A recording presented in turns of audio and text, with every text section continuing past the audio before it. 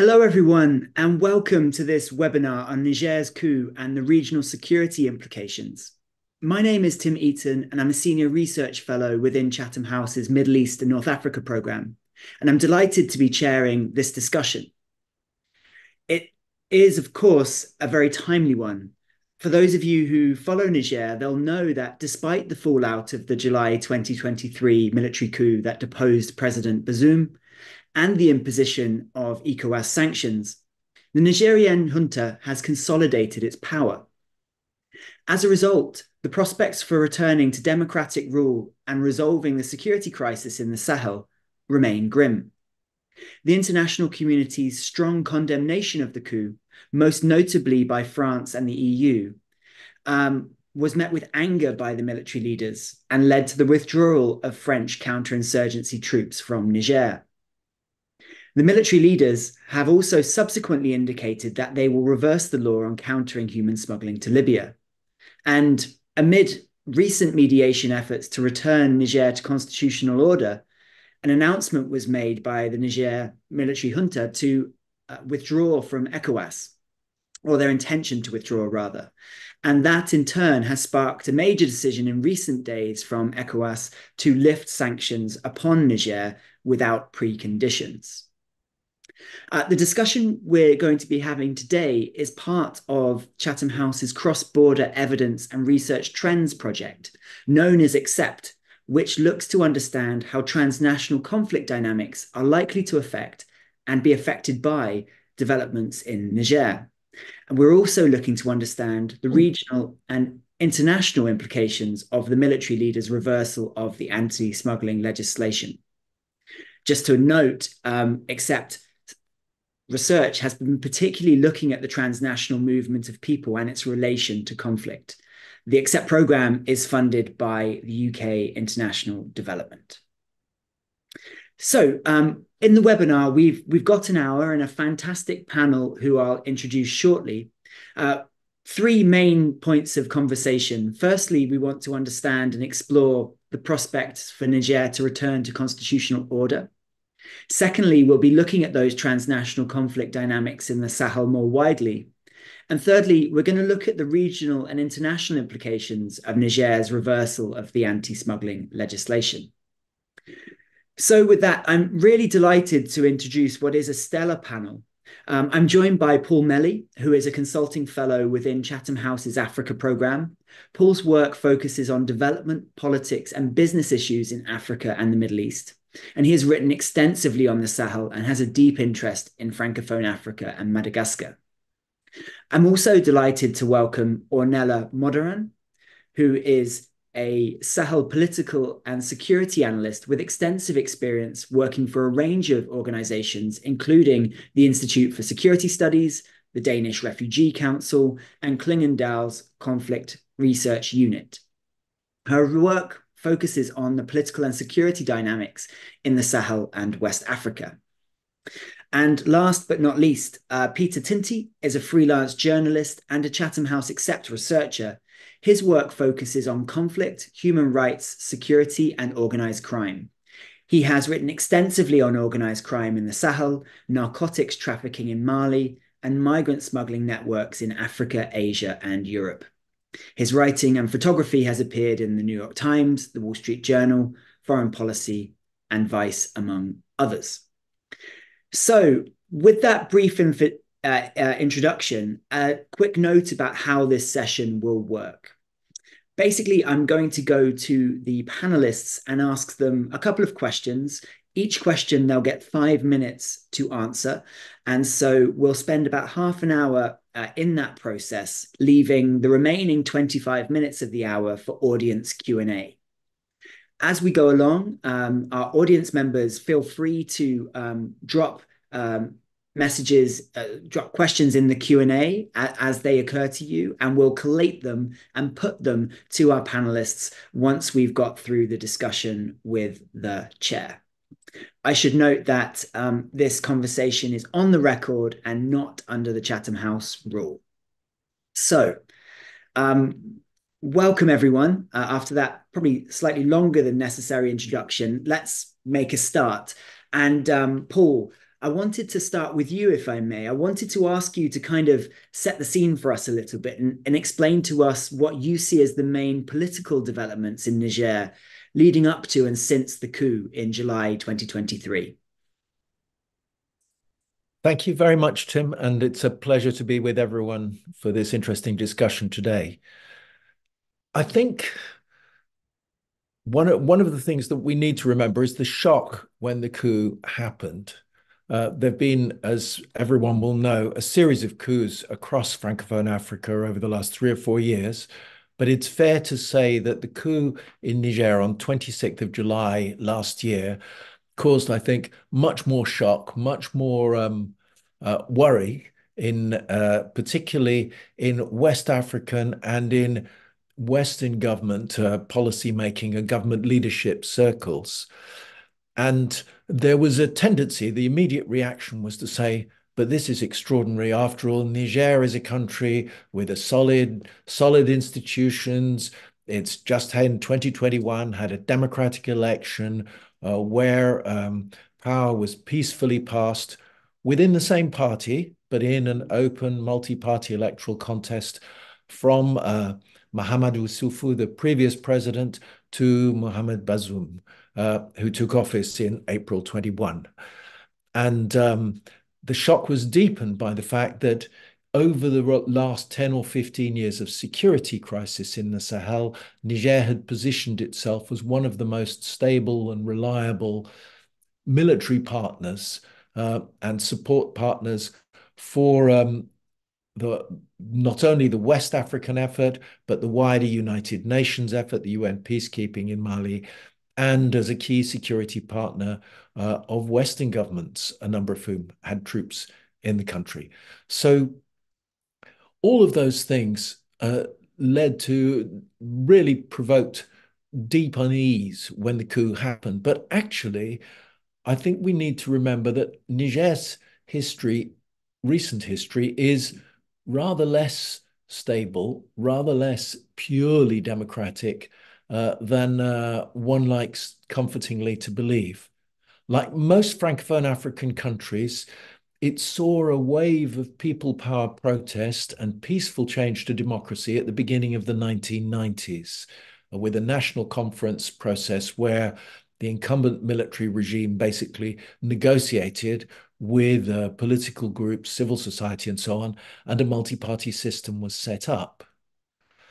Um, but we shouldn't forget that in 1996, so only six years after that change, um, that uh, political system was overthrown in a military coup led by uh, Ibrahima Barre. And he remained in power for three years. And then he he the military the period of military rule ended in a in basically when he was assassinated by other elements of the military they then did restore a multi-party political system but this lasted only for about a decade and by 2009 the civilian elected president Mamadou Tandja, who himself had originally come from a military background uh, started trying to dismantle the democratic constitutional structures and prolong his stay in power. And that provoked another military coup. This time we could say a quote, democracy coup, if you like.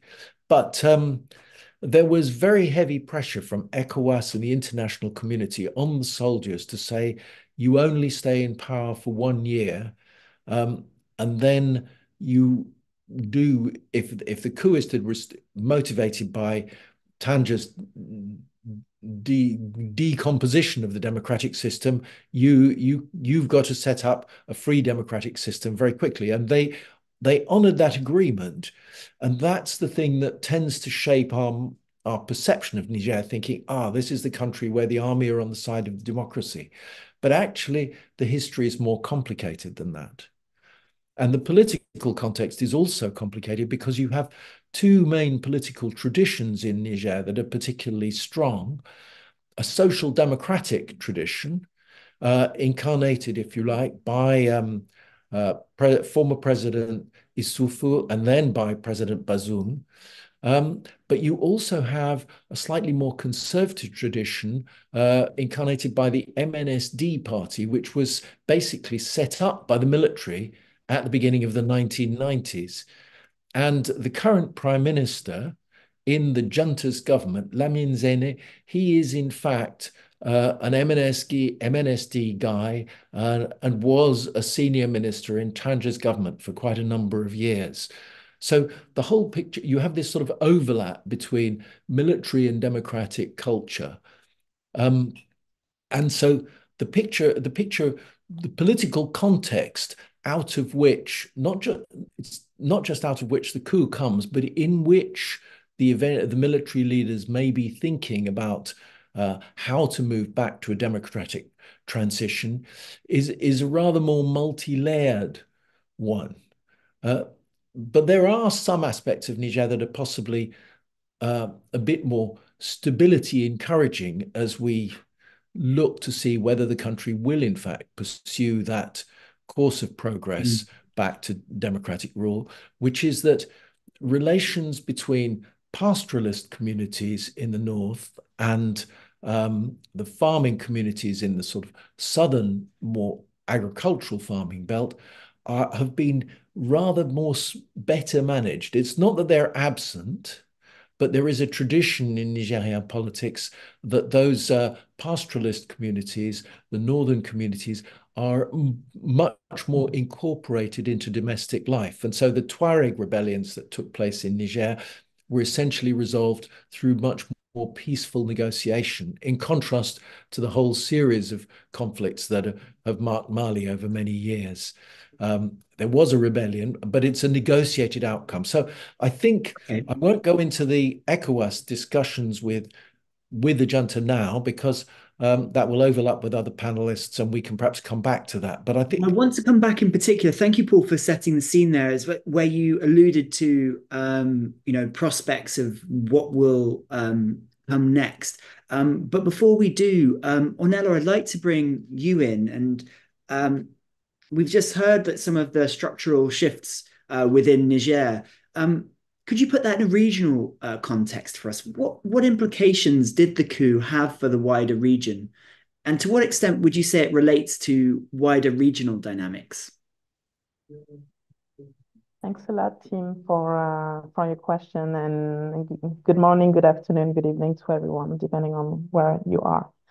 Um, so, you know, following up on the points that Paul was raising, I think one key element to remember is that uh, Niger does, like many other countries in the region, in fact, have a long history of military coups, and uh, that this particular one, the one that happened last year, took place in the wider um, regional context of what some have called um, a wave of coups that has resumed since 2020. So um, this is, I think, an illustration of the broader kind of democratic backsliding trend that we're seeing in West Africa, which military coups are sort of the epitome example of, but which also plays out in many different ways, including in countries that have not undergone coups. You know, things like um, ex executive aggrandizement or um, uh, institutional and judicial capture by the executive and, and things like that. So um, this, I, I believe, is one of the main regional trends you, could argue that this is actually a global trend that's also playing out uh, in the Sahel and in Niger in, in particular. So that's one element. Um, a, a, second element is that because of uh, the fact that several coups had already happened in the region before, uh, be it in, in Mali, in Guinea, in Burkina Faso, and even in Chad, um, uh, the occurrence of a similar event in, in um, in Niger raised serious concern for regional actors, especially for the ECOWAS uh, as a regional bloc, that this could become a broader trend and that the, this could essentially threaten the basis of regional political stability.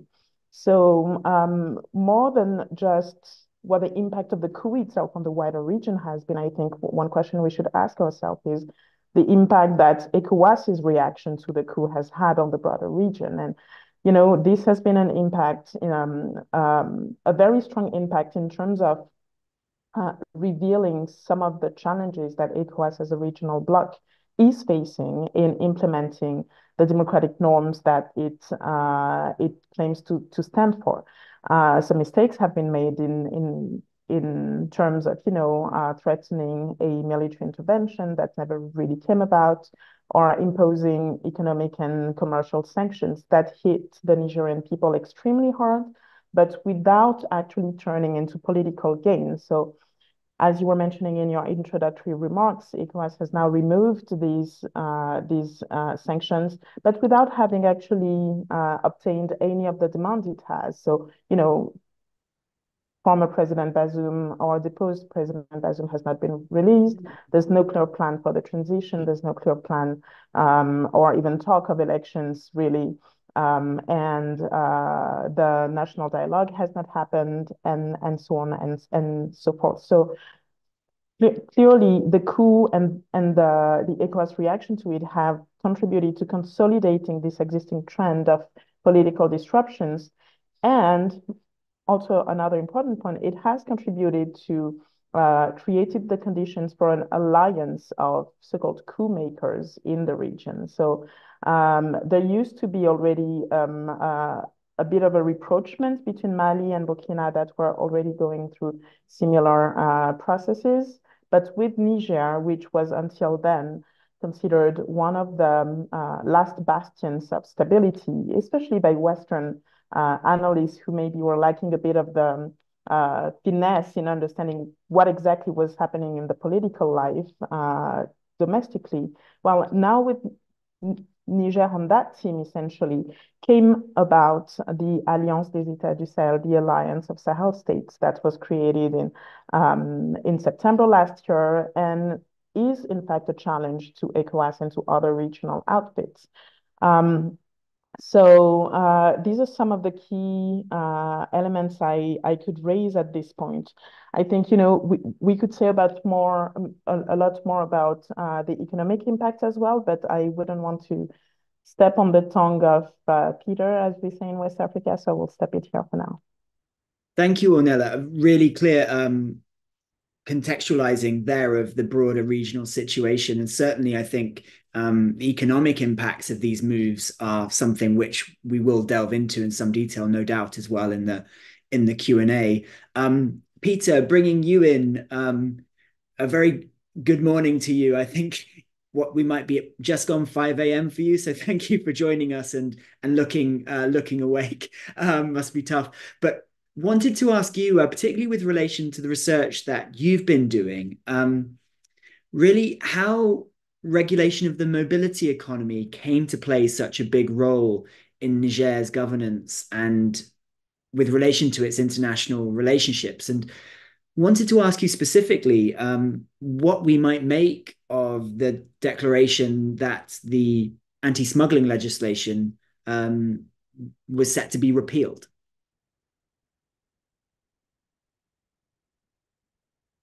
Um, we can't hear you at the moment, Peter. I think. Right, first one of the session. What an honor to have been the first person to get to to unmute their microphone. Um, well, thank you for your question, and good morning, and uh, afternoon, and evening to to everyone who's joining us. Um, this question about the the uh, mobility economy in Niger and and the decision by the the new government and the, the junta to to repeal the law that criminalized uh, the the migration economy in northern Niger I think is a is a really interesting one. I mean, we know that this decision to to pass the law in 2015, um, which didn't really get implemented until 2016, had the very practical effect of criminalizing this mobility economy, particularly in the city uh, of Agadez, which had featured for uh, quite some time as a real hub of migration activity. Um, what, depending on your proclivities, you might refer to as irregular or illegal migration, um, facilitating migration from um, West Africa and really much of the ECOWAS community towards uh, North Africa, particularly via Libya. And so the, the first very practical impact was just the economic impact. Um, thousands of, of, of families uh, in Agadez uh, lost. This had an impact on their livelihoods, both for those who were directly involved in um, migrant transportation or migrant smuggling, those being drivers, people who arranged trips, people who were very um, directly involved in facilitating these journeys, but also all of the actors that were indirectly involved. So restaurant owners, people who were running foyers uh, in uh, what were referred to as migrant ghettos, everyone who was kind of part of this ancillary mobility economy.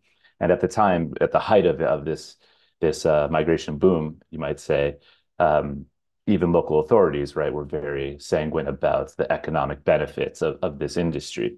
Um, so there was there's real material impacts uh, of this income stream disappearing.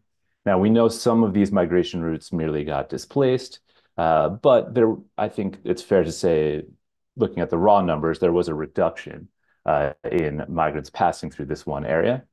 Um, but even setting aside the quite important political impact, uh, sorry, an economic impact of of this decision to to criminalize the the, the migrant economy there.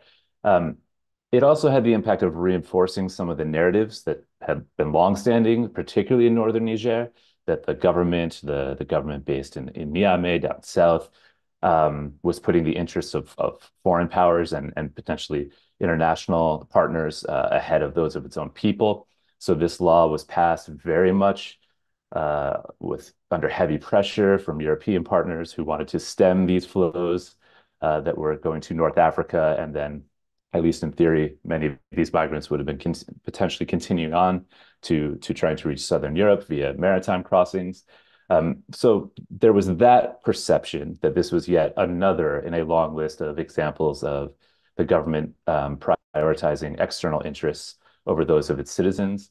Keep in mind, northern Niger is also a place where there's significant mining interests, and particularly the uranium mines that had been that are in northern Niger. Uh, local communities have often said, right, they never saw the benefits of those economies. The the material benefits uh, went abroad, went to a small cohort within the country, but also to to France, right? So that's the the context within which these narratives uh, are forming, are circulating, and are gaining increased traction. Um, after criminalization.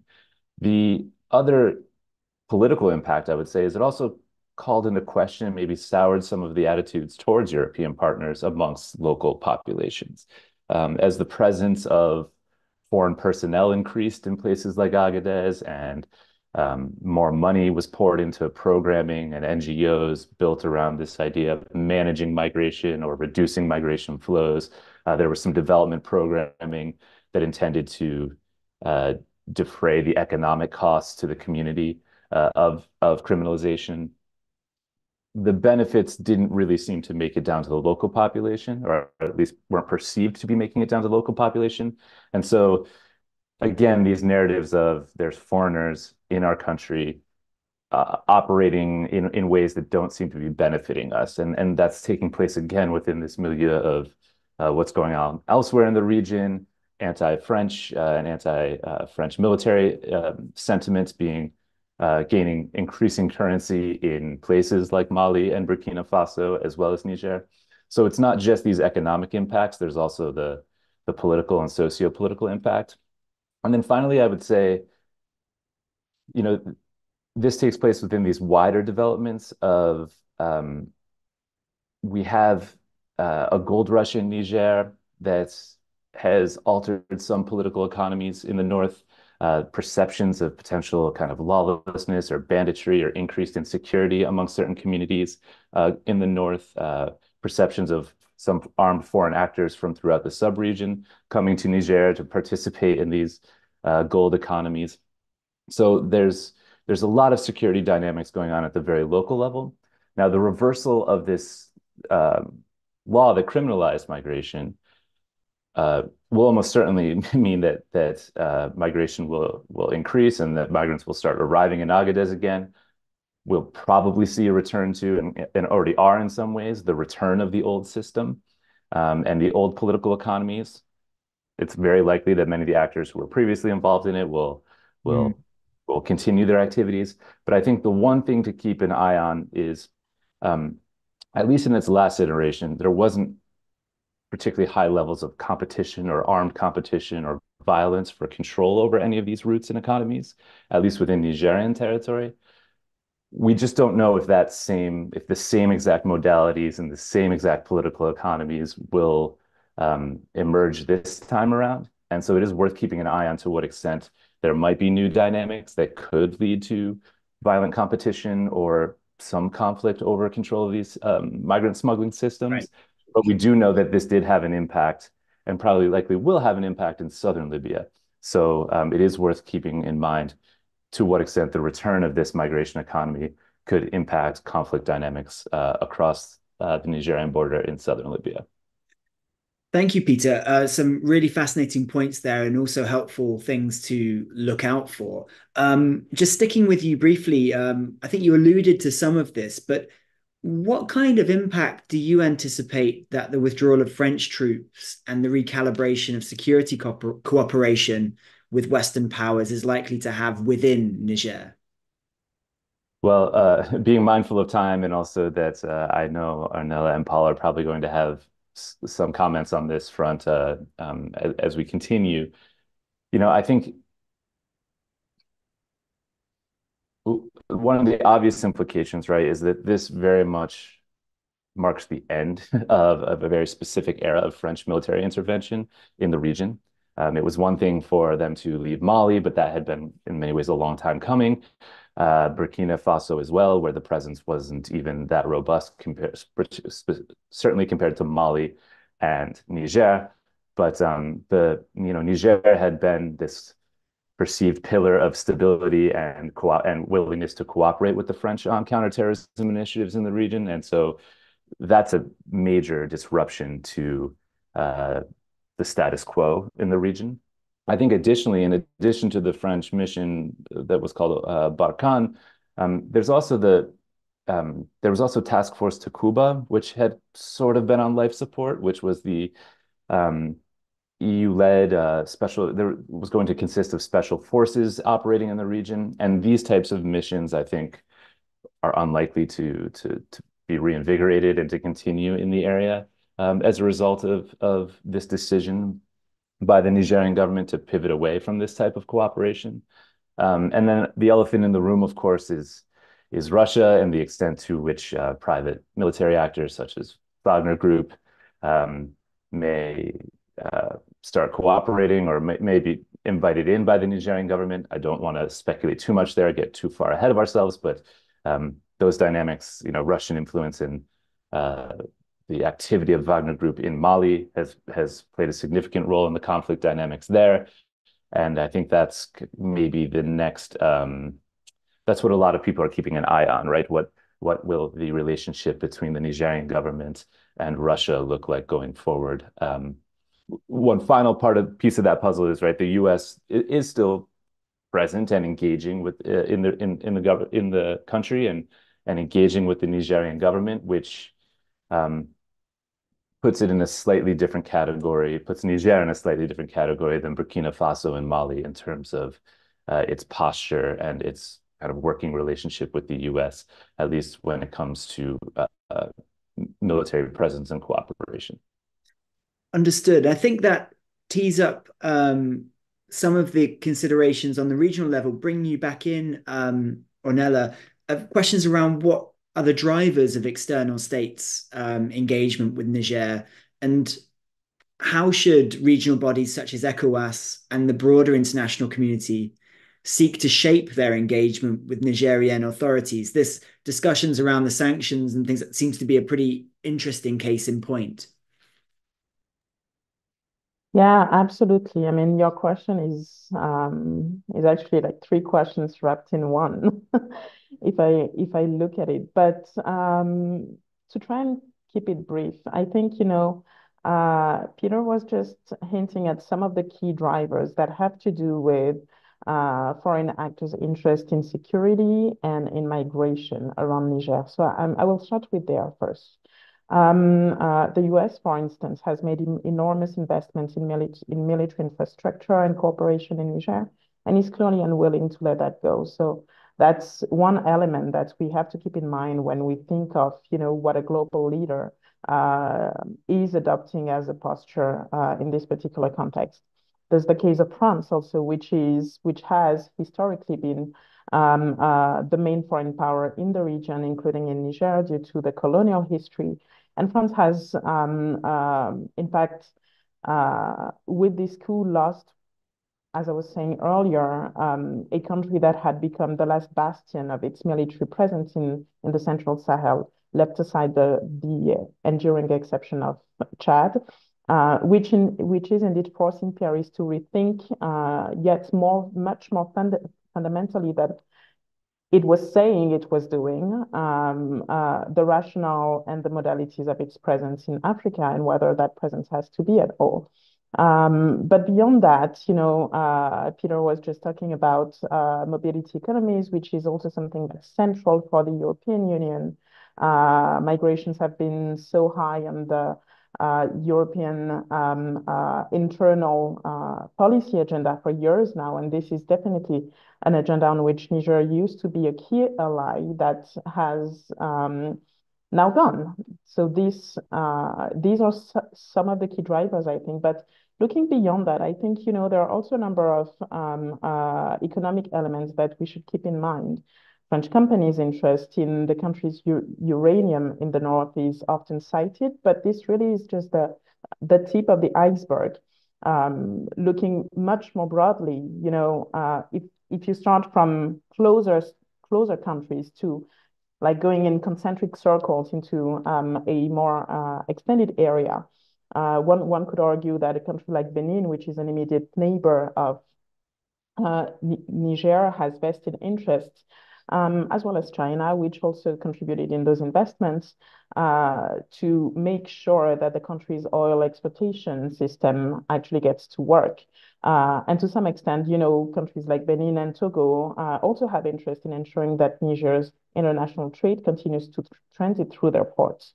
Um, uh, yet a bit further, Morocco, for instance, recently extended a collective offer of cooperation to Niger, Burkina Faso, and Mali which suggests that the kingdom has both economic but also political interest in using the current upheaval of international uh, relations in, in, the region in order to position itself, to consolidate its power, because um, actually Morocco does have a very strong soft power, especially economic soft power in the whole of West Africa and especially in the Sahel. So this is an opportunity to consolidate that, but also uh, to make some diplomatic gains in a context where, you know, uh, ECOWAS is being challenged and uh, there is an opportunity to uh, create a different type of uh, regional integration there, perhaps.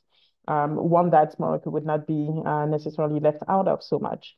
Um, and yeah, so the, there are just all kinds of various interests, which I think take us back to the fundamental point that Whereas it may look from afar like um, uh, Niger is a, an isolated hinterland, uh, poor country with limited uh, security capacity and so on, actually there is a number of um, uh, factors that suggest uh, that the balance of power might not be so clear and that in fact uh, Niger has some very strong arguments to kind of um, push or force foreign actors to come back to dialogue. And here is where uh, the the very you know the very um, uh, sanctions heavy and threat driven strategy that the ECOWAS has taken from the start has uh, proven ineffective and not just ineffective, but in fact counter counterproductive because it also turned against um, it, it fired back essentially by turning uh, a large part of Niger's population, but more broadly of the regional population in West Africa against the uh, the uh, the regional bloc. So um, how how do we go from there? I think you know at this point um, uh, it's probably um, uh, time, and you know the the recent decision to lift these sanctions is in a way an admission of uh, well, some would say weakness, or you could also say lucidity, simply that, you know, the balance of power is such that uh, there is a sort of status quo that is established and external actors should seek to restore constructive communication channels with Niger's authorities, whoever they are at this particular moment and, and time, um, and try to build a new uh, agenda with them. In doing that, though, I think you know some lessons should be learned from the mistakes that have been made in um, in neighboring countries, and yeah. I'm thinking of Mali in, in particular, in terms of making sure that this conversation is centered around needs, but not just the needs of the state and the state elite, but the needs of the people. So trying to have a much more um, people-centered, needs-based discussion on what areas of engagement and cooperation should be, as opposed to having a very um, uh, Western-centric conversation about just, you know, how do we counter Russia, which is something that I, I have to admit tends to uh, get on the nerve of West African stakeholders who feel uh, completely um, uh, looked over uh, with that type of uh, approach. As someone who works on Libya, I'm very familiar with those discussions as as well. They're certainly frustrating. Um, got some great questions coming in. I'll just ask one final question um, to Paul, and then we'll get to your uh, to questions in the Q and A. But Paul, um, as you noted in your initial uh, remarks, um, there are questions around what's going to kind of happen next. Uh, the junta has announced that it will work towards elections within three years. That seems like quite a generous uh, time frame to be offered. So, what are your expectations for the governing authorities in the coming year? And to what extent do you think they will be able to address um, some of these political, economic, and security challenges that the country faces?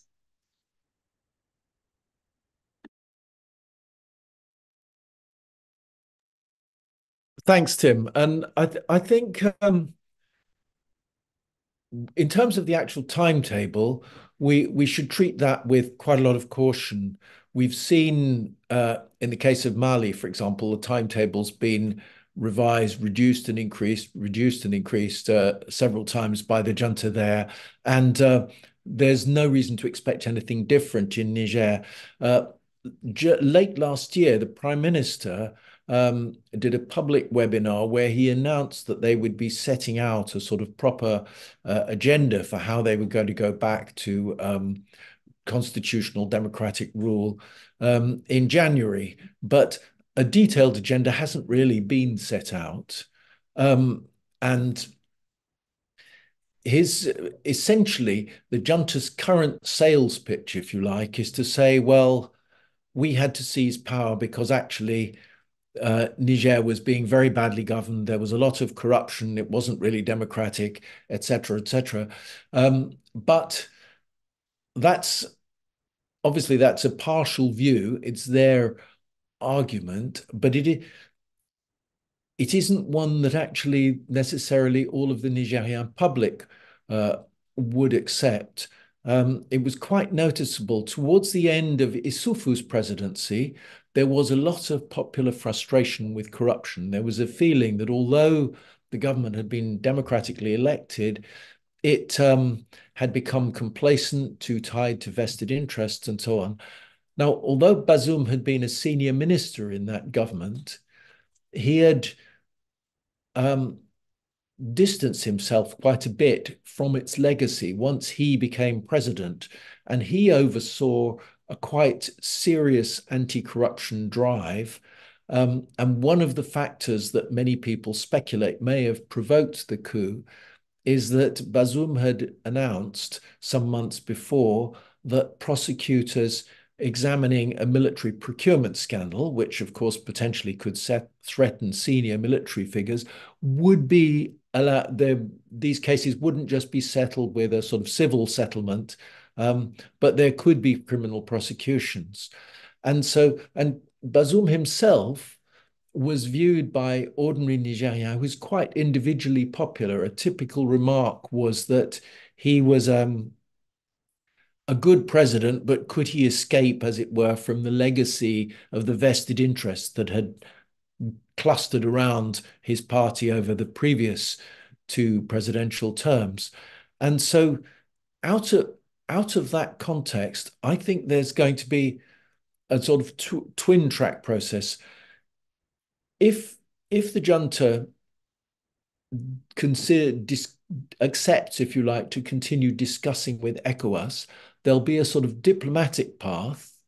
Um, and in December, there were there were report reliable reports that um, Togolese mediators on behalf of ECOWAS had reached a provisional agreement on a transition of 18 months, 15 to 18 months. So that process could go on. But I think also there's going to be some sort of bargaining going on with within Niger itself because of the rather complicated party political dynamics that I mentioned earlier, and because a lot of senior figures invest have in um, in politics and the military will have an interest in in essentially some sort of that when if and when constitutional order is restored and i think it probably will be when eventually just because although that's the only way niger will fully recover if you like its access to the full sort of panoply of international cooperation and role in the diplomatic system and so on.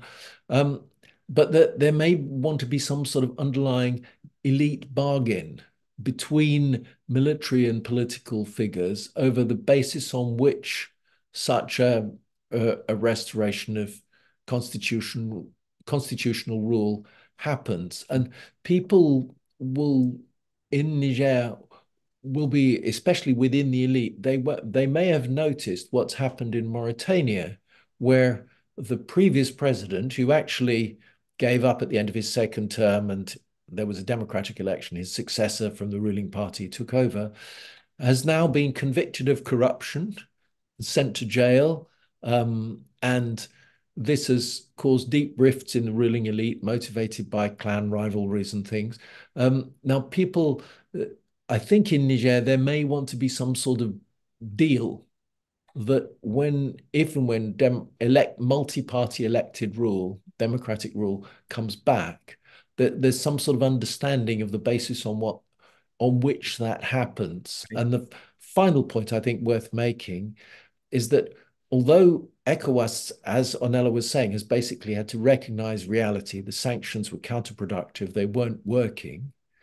Um, they, in doing so, um, ECOWAS has, uh, leaders in ECOWAS are trying to re, re, re, remind people of the benefits of actually being in the bloc. Remember, people, and especially this is important for the poorer yeah. landlocked countries, you have free movement, um, much easier trade, and so on. And so that also could be a bit of a factor. Thank you, uh, Paul. Okay, uh, getting to the questions from from the audience now. Thank you. Um, loads have um, come in. We'll get through um, as many as, as we can. I'll, I'll, group them as well to give us the kind of best shot uh, of doing that. I guess to start off with, um, there are questions from Ian, Edmund, and Mark, which really relate to the relative influence of external actors. Um, they ask uh, uh, the impact of French investments uh, and interests of uh, recent events. And connected to this, um, Ornella, that that question, which is irksome in a way. I mean, how should um, we view the relative influence of other powers, Russia, China, Turkey? Um, I'd like to um, offer offer this question to you first in terms of um, uh, relative external interests, if, if that's okay, and pick up perhaps on any threads that you think are particularly important.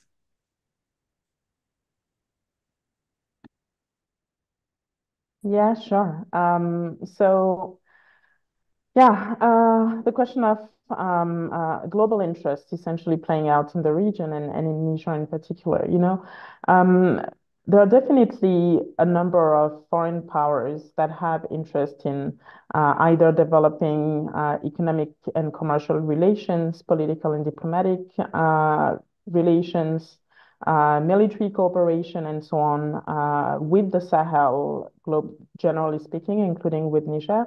And that includes some of, um, uh, well, some non-Western countries. And here I think, you know, a bit of the, um, I would suggest actually just looking at, uh, at this question in the reverse way, not uh, not from um, a threatened position of, you know, the Western power who feels they're being pushed out, but really looking at what is going on in terms of interests and um, and values alignment and so on. Here, I think, you know, um, there is such a thing as the rise or return of so-called strongman politics. That's one of the key leading trends in the Sahel, and that speaks to the political systems of uh, some foreign um, uh, autocratic countries. I would think of, you know, places like uh, places like Turkey, like Russia, and so on.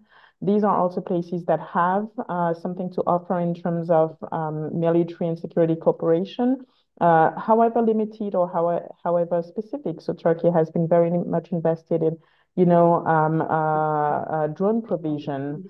Um, and Russia has been very much invested in trying to get more clients for its private military companies and things like that. So this uh, reminds us of, of the need to, to think of uh, cooperation, not just in terms of um, what do we think um, uh, Sahelian partners want or need, but what do they say they want and need, and how how can we really engage in, in that co conversation with them? There are many other countries actually, uh, but clearly, you know, I'm I'm focusing here on on a, a handful that usually raise the most concern from uh, uh, Western partners. I'm conscious of time, so I'll just sure. Thank you, thank you very much. I appreciate that. Um, uh, if the panelists are able to be as succinct as that, that'd be great. Give us the best chance to get through. I guess um, connected to that slightly, Peter, there was a question about um, the role of the US and um, uh, one of their bases, bases, base 201, I believe, and also the potential um, need to repay um, $550 million in, in US uh, in, in debt.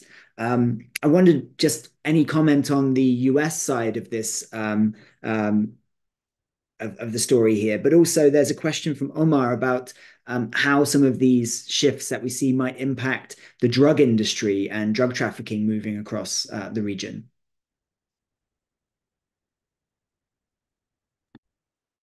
Sure. Well, those are two uh, pretty complex questions, so by no means low-hanging fruit. Uh, starting with the, I guess I'll start with the second question. Well, I'll, I'll uh, apologies to the questioner because it is a great question regarding the U.S. involvement. Um, in terms of paying back that debt, I don't really have uh, anything substantive to add on, on that particular detail. Um, in terms of U.S. engagement in the region, I, I do think you know there's there's clearly been a willingness within U.S. policy circles to um, kind of try to hedge hedge hedge on how to respond to uh, the the junta, given that you know in theory the U.S. by law has a very specific response when it comes to certain types of military and bilateral aid to states that where there are coups, um, and they have sort of the U.S. government sort of the Biden administration more or less tread water for as long as it could, and then tried to basically thread the needle in saying that certain amounts of cooperation it is a coup, but certain amounts of cooperation can still or will still be be continued. Um, but in general, I think mm, a lot of that is a reflection of the assets that the U.S. already has on the ground and doesn't necessarily want to roll back right away, uh, notably the drone base outside of Agadez, but also some other sites where uh, the U.S. has a military footprint. Um, but I do think kind of globally, strategy towards the Sahel and West Africa, and this does go into one of the other questions in the chat, um, at least from the U.S. perspective, is very much pivoting to uh, the what are often referred to as the littoral states. Um, so trying to uh, reinforce and, provide uh, more support and pivot engagement to states like Cote d'Ivoire, Ghana, um, other littoral states where there, uh, uh, Benin, Togo, where there is this perception, right, that the the instability that has been incubating in the Sahel is spreading further and further south. Um, with the question of drug trafficking, I mean, that that's, you know, we do know that Niger does remain a transit state for um, drug trafficking in the region. There have been some pretty prominent in seizures in recent years of um, cannabis resin, uh, both cannabis resin cultivated in, in Morocco that would probably transited through Mali, through Niger, likely for to go to onward markets in in probably Libya, um, and then elsewhere from there, and also fairly sizable seizures of, of cocaine uh, in Niger. Where that cocaine entered uh, West Africa or the African continent is not as clear. Did it come from uh, Guinea-Bissau or Guinea, uh, um, that part of the Gulf of Guinea, or did it come up through um, Benin or, or, or Nigeria? There's a lot of debate and and hand wringing over trying to understand that. Um, I don't know that the coup itself has uh, tangible, direct, obvious impacts on this trade, but I I think it is probably I think we can say with some accuracy, right, that the actors that are involved in this this type of trafficking are probably pretty um, have have proven over the years very adept at being able to continue their activities regardless of some of these um, disruptions or changes in government that have taken place within the region. It's often maybe a, a there's a period of kind of recalibrating the networks to the and reformulating alliances according to the new realities on the ground. But the I think the basic basic schematics of these um, drug flows continue uh, with only small disruptions here and there. Thank you, Peter. Um, conscious of time, so what I'm going to do is just group a final set of um, questions from the chat together and then put it to our panelists, perhaps to respond to some elements of those and then make some uh, final remarks so that we're able to uh, finish on time. And um, I noted in particular that there are a number of questions around the impact of Niger on the broader region. Um, and also then broader regional dynamics on Niger. So Aliyinka asks about um, movement in constitutional um, mandates and terms. Is this kind of you know these changing um, norms within the AU a problem? How could how could that um, uh, play out? Uh, Gordon asks about the impact on uh, the alliance of Sahelian states, and perhaps more directly, um, Mohammed asked very specifically about the direct impact on Niger's neighbors of, of the coup. Um, so if I could just put out that um, question to uh, to you first, Paul, uh, and then any other final remarks. In if you could keep it to two or three minutes. I know that's a massive range. To just be uh, selective is what you want to pick, and perhaps uh, leave with us as some final thoughts.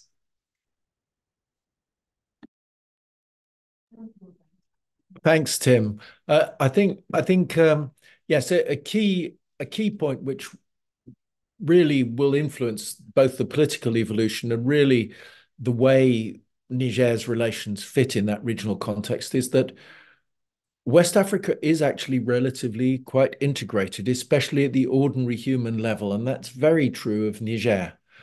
About half of Niger's population, for example, are Hausa, the Hausa community are also a very large part of the population of northern Nigeria. There is a huge, dense, constant economic and human movement back and forth across the border between north central Nigeria and north and southern Niger. Um, and which is probably through smuggling one of the things that sustained the economy over the last few months of sanctions, but also means that there is quite a driving, powerful pressure uh, to, if you like, at the social human level, to um, somehow sort this mess out, if I can put it simply like that. And and the sort of also there's a a final practical point that there's a natural economic complementarity between the Sahelian economies and what they produce which, and particularly in the case of Niger, that tends to be livestock and then either desert or cold weather crops, and the markets for those things in coastal West Africa. And then in return, coastal West Africa is a source of manufactured goods and critically um, food crop supplies, cereals, maize, and so on, uh, and and rice for for Niger. So I think those dynamics are going to be very powerful in in trying to push push the process, shape the agenda going forward. Thank you, Paul. Um, Ornella, over to you. Any of those points that you wanted to come in, or any final thoughts you wanted to leave us with? Yeah, you know, we had um uh, a number of questions, as you mentioned, on on the regional impacts, and I I think we've covered some uh, some of that already. Maybe one thing I could come back to is, you know, uh, the first question about constitutional mandates and just more broadly, the the the overall trend of democratic backsliding. I, I think I started my remarks by that, and I, I could add here by saying that um, it is true that coups are just one particular, um, particularly obvious, but one specific type of expression of a broader problem, which is the weakness of democratic systems um, and the kind of shallowness uh, that they they rely on in many West African countries. So um, one of the things that has considerably fragilized ECOWAS's stance and cr credibility in the region is this um, um, perceived approach of you know double standards, whereby the organization has been very critical and very um, uh, very strongly opposed to military coups, but has been a lot more lenient towards softer uh, forms of uh, democratic process manipulations, like, you know, um, having constitutional manipulations by incumbents willing to overstay their welcome and uh, things like that. Uh, one thing we could wonder about, you know, the context in which Niger's uh, sanctions were were released um, just a few days ago is whether the, the ongoing crisis in, in Senegal, for instance, could have anything to do with that. Like how, how uncomfortable is it for the for the regional bloc to maintain sanctions on Niger while not really saying anything much about Senegal on the other hand. Um, so these things are definitely interconnected in several ways. Um, and we could have a, a whole uh, separate webinar on, on what that means for the region, what that means for Benin, what that means for Togo, what that means for, you know, other countries. Um, perhaps just my very last point, if I have to provide just one wrapping um, concluding remark is the centrality of political economy in all this. A lot of the issues come down to this, whether it's, you know, uh, trafficking networks and so on, whether it's how uh, power dynamics function within the security sector and within the political elite. This has, I believe, been perhaps a bit of a blind spot in a lot of the political uh, political analysis we've had in the region for the past few years, and that's definitely something that the ongoing trend of militarization is inviting us to to revisit quite substantially. Thank you so much. As a political economist, I very much endorse that last remark. Um, Peter, uh, final thought from you. Um, well, I, I, hesitate to start talking because I think Ornella just did a really nice job of, of offering that that final remark, and I will echo uh, both what she said as well as what Paul said regarding um, the political economies and and the the realities of economic integration, both at a kind of um, more global level, but also on that very interpersonal level and the ways in which uh, communities that uh, the ability to cross these borders and engage in um, economic activity across these borders is incredibly important to to so many communities across the region, and that's in part why I think the the sanctions regime kind of lost popularity quite quickly, and why the appetite that certain states within ECOWAS had for continuing them uh, may not have lasted as long. I also think we should note, I mean, we haven't really talked about the alliance of Sahelian states, but I do think that strategic decision to form that grouping uh, by Burkina Faso, Mali, Niger did allow them actually to operate with one voice, uh, to put pressure, um, and also the announcement that they were leaving, uh, that they want to leave ECOWAS uh, together. These actions on the unified bloc have really, I think, um, made it clear to a lot of actors within the region, right, that uh, as a as a bloc, their ability to to gain concessions and to negotiate uh, is much stronger than if they were acting independently. Um, so, I, of course, we need to to think about, uh, as as all the panelists have said, um, the ways in which uh, you know there's an entire geopolitical context to this. We shouldn't just think about Niger in isolation, Mali in isolation, Burkina Faso in, in isolation, let alone right the ways in which uh, these developments are also impacting um, ECOWAS's posture towards places like Senegal, Guinea, um, as well. So I'll leave it there. Thank you.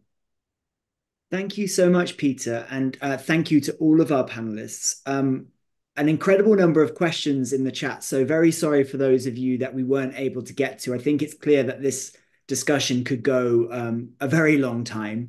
Um, I found it fascinating today hearing about the um, cross-border implications and the transnational, truly transnational dynamics that are at play here politically, economically, militarily, on an interpersonal level, on a state-to-state institutional level, very, very complex um, situation.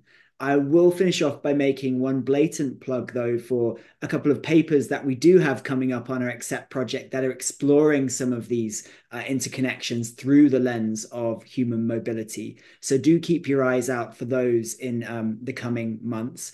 But with that, I'll just close and say thank you so much to our panelists. Um, and for all of you to joining us. Um, it was a great discussion, and I look forward to uh, future discussions on this topic. It's clear that we've got quite an agenda to get through in future. So thank you once again.